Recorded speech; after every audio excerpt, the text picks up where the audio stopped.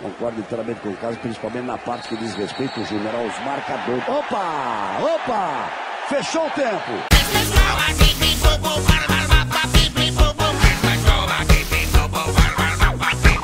Ação ali, tomou o soco, Marcelo apareceu, chama o Neymar, cartão amarelo. E aí, só isso? E cartão amarelo pro mesa, olha lá.